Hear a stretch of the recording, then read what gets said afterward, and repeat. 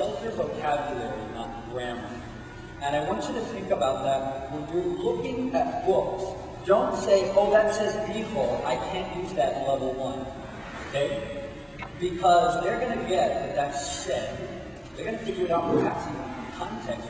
If you're doing TPRS, chances are you've already taught it. So don't worry about regular verbs or multiple time frames. Worry about is the vocabulary too way far out? Yes, it's going to be a little out of bounds, but they have some choice, so that's okay. But you want to you want to keep the you want to look at the vocabulary and not just make decisions based on grammar. Does that make sense?